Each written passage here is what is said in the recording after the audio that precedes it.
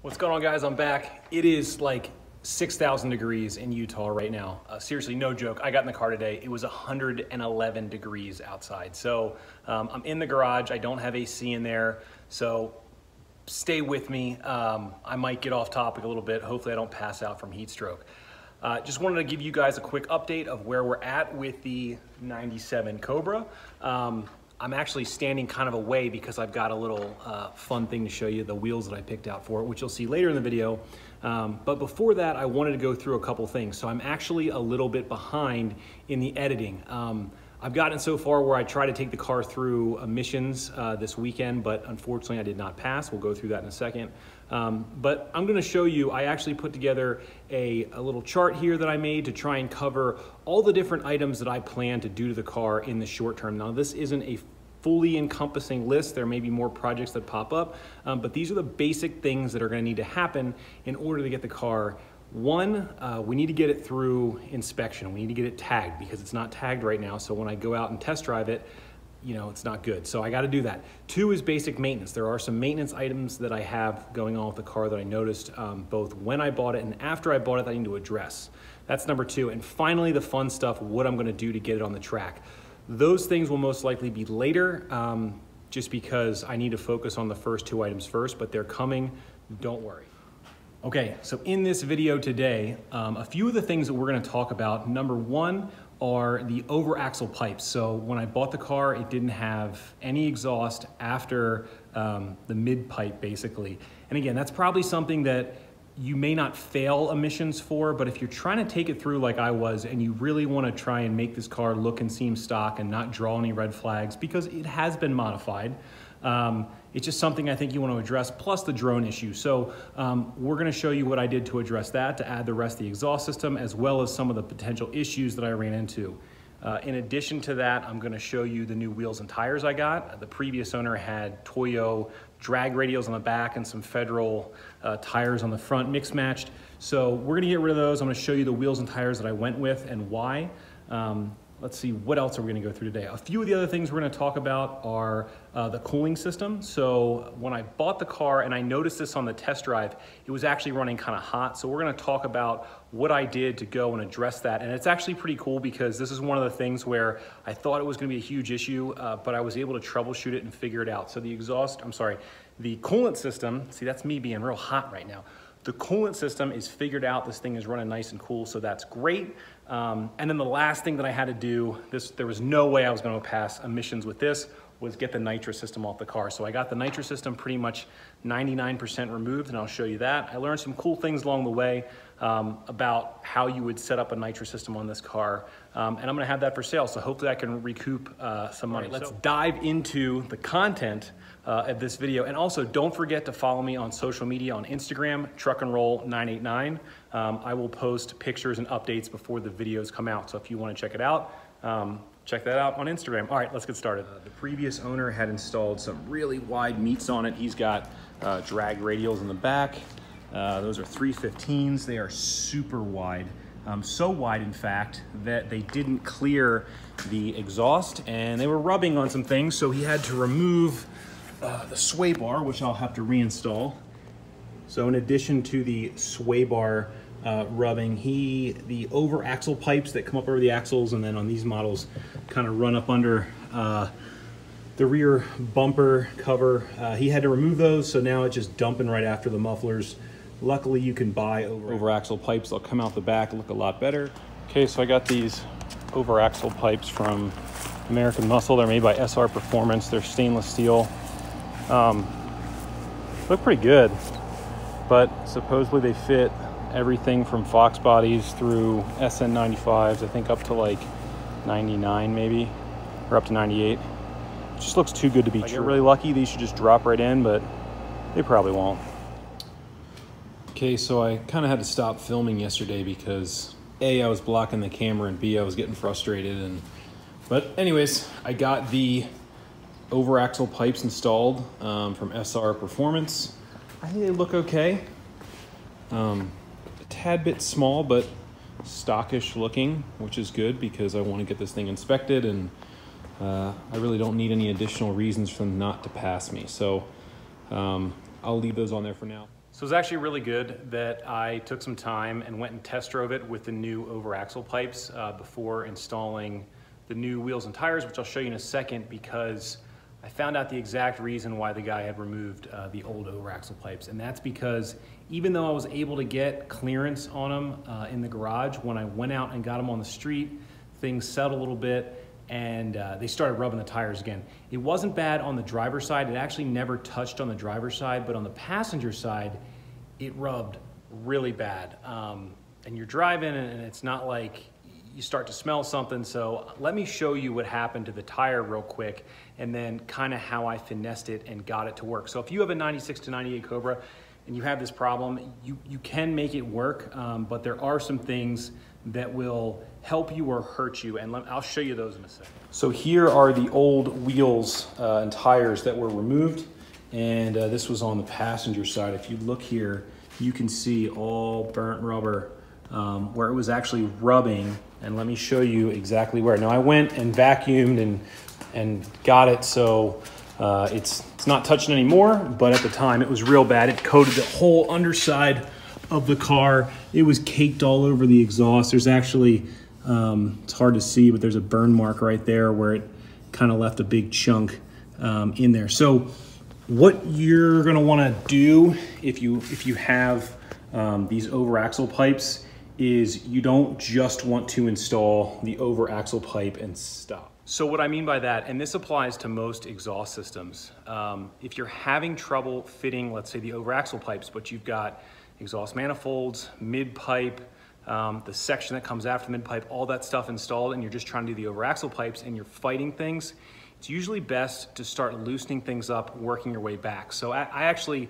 loosened everything all the way back to uh, the mid pipe and then started fitting them from there. And I took a block of wood and I put that in between the tire to kind of keep it roughly where I wanted it. Um, I had my wife come out and she tugged on the exhaust a little bit and then I started to tighten down the clamps and, and try to understand where, um, where things were binding, where I could get more movement. And I was able to get roughly, I wanna say probably an inch or so on the passenger side, about an inch and a half clearance on the driver's side when I was done. So that was, that was really cool. So this will work, um, and they're no longer gonna rub.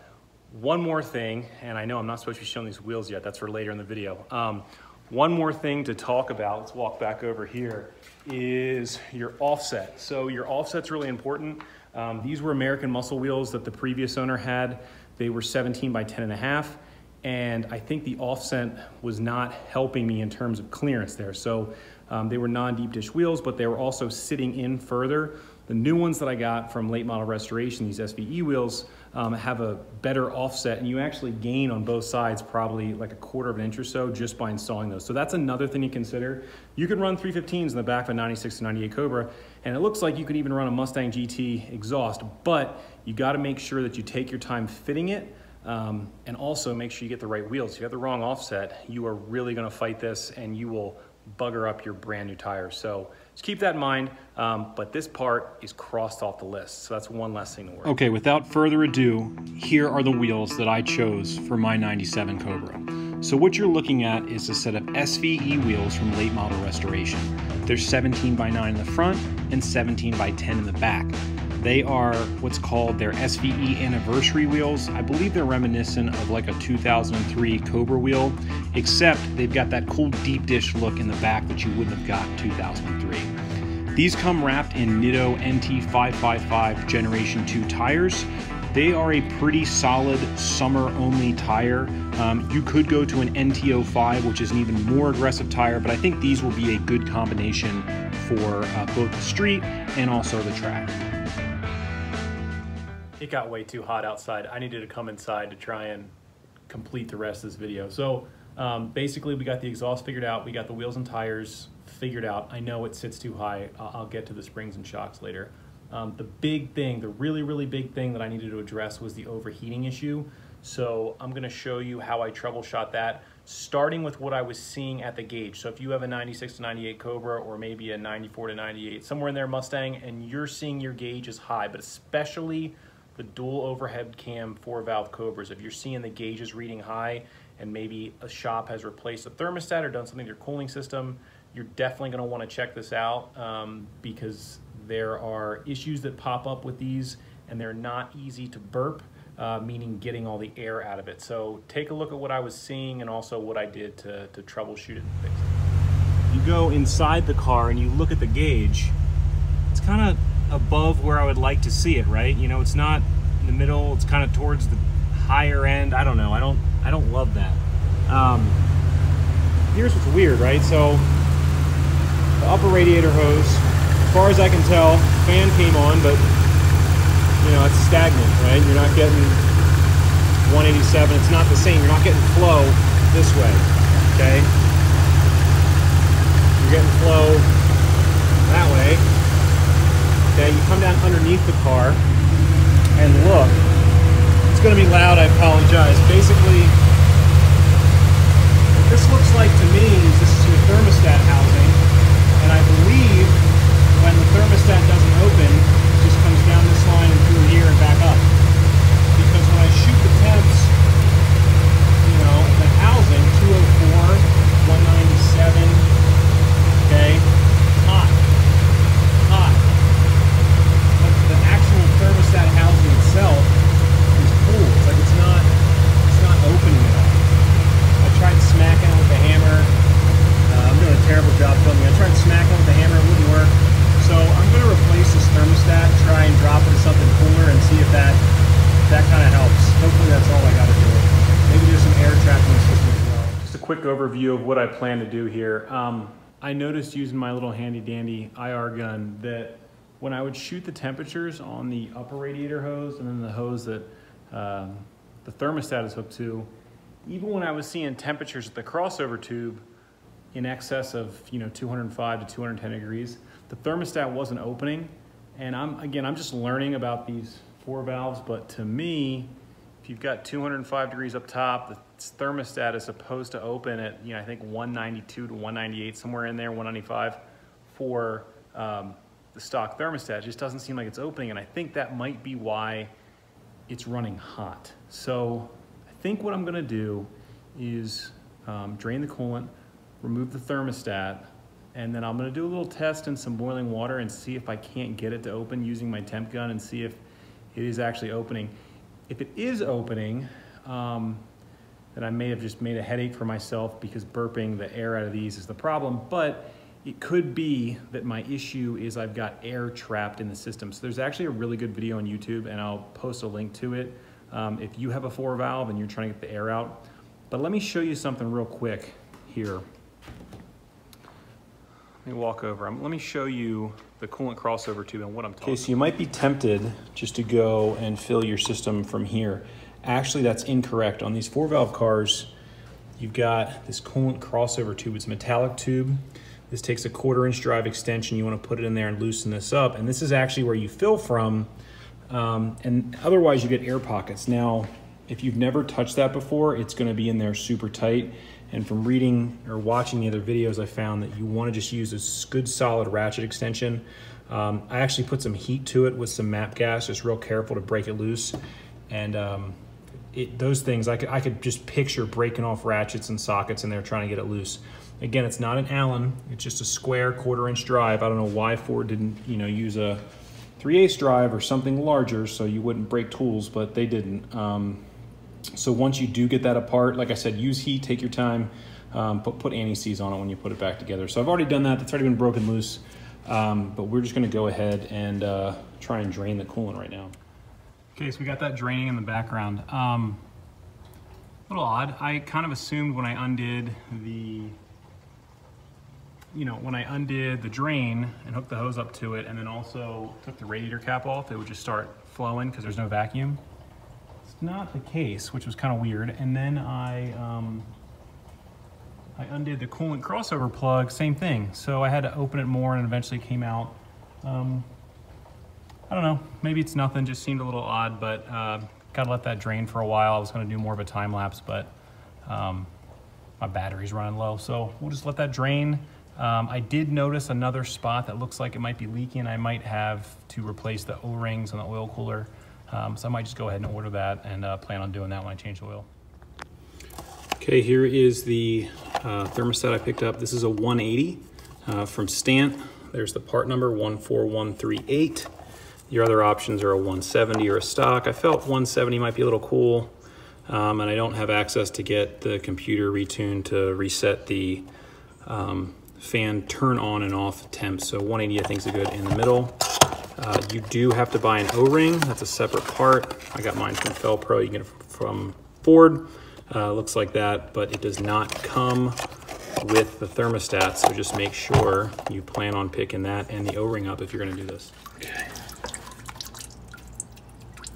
Okay, so first question, is that the way the thermostat's supposed to be facing? I don't, I don't know. Time for the fun part. Really should have a backup here. Notice the noise. I pop the thermostat out, totally miss the entire drain pan, and then slide it back underneath where it needs to go. Please tell me you guys do this kind of stupid stuff too. What's that? Oh, we caught it. There's your coolant everywhere.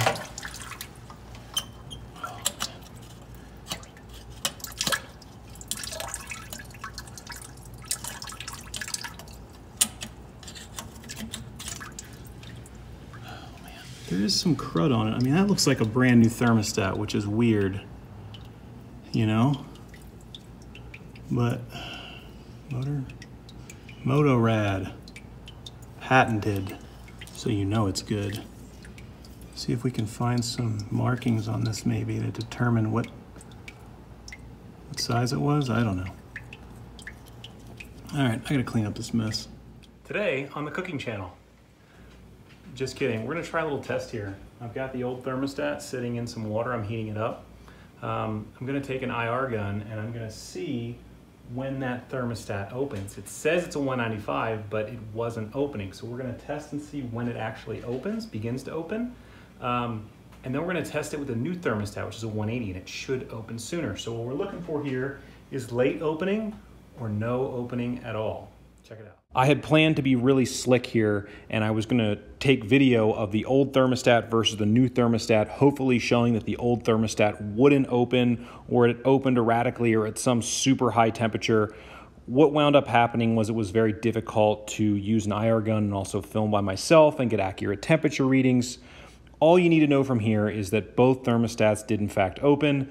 Um, the one that was listed for 180 seemed to open around 180 and the old one opened somewhere between 195 to 200 degrees, maybe a little bit higher than what you want, but it still was working, so it was not a broken thermostat. Okay, I'm gonna save you guys a lot of videos. So here's what I learned. Um, the old thermostat wasn't stuck. Here's the old one. It did open. You could argue that it opened less but it's hard to tell. From the best that I could tell, this thing opens up around 195 to 200. So it's listed as a 195. It, it may open just a little bit later, but it's not like 100% faulty, okay? So that's one thing we know. Um, this one obviously opens up sooner. It appears to open up more. It's a little bit different design when you look at the top. This is kind of shrouded, that kind of isn't. Um, both of them, this piece that looks kind of like a bullet slides down. Uh, the other thing I noticed is they're not the same height. Not sure if that's a huge issue, but you know, that this slides down like that, so it can be. Um, this has got some holes in the bottom of it. This one doesn't. This one also has these little things on the side. The Stant one doesn't. So, I don't know. Um, this one looks like it's by a company called Motorad, which it's not Motorcraft, so we know this is aftermarket. So I'm wondering if this is even the right style of thermostat. Um, but it's not a faulty thermostat, but it may not be the right one. So we're gonna we're gonna put this one in, and we're gonna see if this fixes the problem at all. So I don't I don't really know, but um, we'll give it, give it a shot. These things just work differently. When you press on this one, that part stays there, but this part moves versus this one, the whole piece moves and then, so yeah, um, let's try it out and see. So I went ahead and I put the new thermostat in knowing that it was the correct one for my car. At the same time, I went back and researched the old thermostat and was able to determine that it was actually for a 97 GT and not a Cobra. And all I can think of at this point was that it was for the wrong motor and therefore did not work in my application. Hey, if you guys are with me to this point, I really appreciate it. I know this video is starting to get long, so I'm gonna try and speed some things up here. I did have more stuff filmed, but we're gonna skip through that. Um, basically, when I installed the new thermostat, it worked perfectly. The only thing I will say, and you should go and review this online, Reische Performance, I think it's R-E-I-S-C-H-E. Um, they make thermostats for this car, but more importantly, they also have a really good how-to on how to burp the coolant system with this. Um, basically, what you need to know is that you don't want to have the overflow expansion tank and the coolant crossover tube open at the same time. You basically want to fill this first, shut this, meaning shut the cap and leave it, and then do all your filling from here. It's not something that's going to get done in 10, 20 minutes. You basically have to go through a couple heat cycles, let the car warm up, let it cool down, let the thermostat open, burp it, this, that, and the other. It's, you're gonna take it a whole day, basically, to get this thing correct. And it's not that you're taking a whole day of trial and error, but you basically just wanna give the coolant time to fully heat up when the thermostat opens and also fully cool down. And when you follow their instructions to a T, it will work perfectly, trust me. It worked on this one, and now this thing is good. So, so far in this video, we've knocked out, let's see, exhaust, we've knocked out uh, tires, we've knocked out coolant. Last thing, real quick, we are gonna run through the uh, nitrous system and what I had to do to get that removed, and then I'll go over a couple more things and wrap it up for this time. You saw how the car looked before with nitrous. Now all you do is just snap your fingers, it's all gone. The nitrous system is fully pulled off. Um, if you have a nitrous system on a car that you are trying to remove, just a couple things to note. If it's a wet system and it's injecting on the intake, you will need to plug the hole on the underside of the intake. Um, this is aluminum, so unfortunately you can't just weld it back up, but if we zoom in here, um, there's a little plug that I installed. So that is good. Um, these cars need a tach adapter to basically give a RPM signal to the nitrous controller. Um, and then that also talks to a wide open throttle switch. So that switch is now removed, that's gone. Um, and then the wiring here, they had to cut into this wire loom to get a signal from, I believe it's pin 34 in here. So um, I didn't have a whole lot of wire to play with. Ideally, it'd been nice to like fully home run that wire back. But uh, what I did was just undo this, solder in a new section. So I only have two joints. I got rid of all the butt connections and uh, taped it all back up and that's good. Um, I've got all the old stuff on the table over here. You know, if you're doing this on a car of this year, you're gonna need a tach adapter uh, for nitrous. You've got your window switch, your ability to tune your nitrous system, um, all your solenoids and all that stuff.